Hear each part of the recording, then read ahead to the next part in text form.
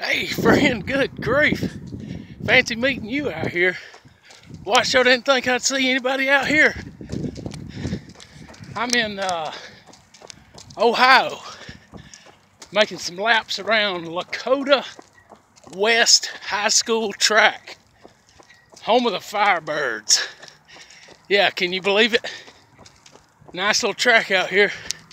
Anyways, just trying to get in some mileage. Got a little break here on the ski retreat. So thought I'd get in a few laps, get in a few miles. I tell you, it's been rough so far. I ain't gone, but I ain't even gone a mile yet. Good grief. Sure hadn't been eating right today for no run. But we're just gonna pick them up and put them down for a little bit just to get some mileage in. So, hope you're doing well. Gonna run our race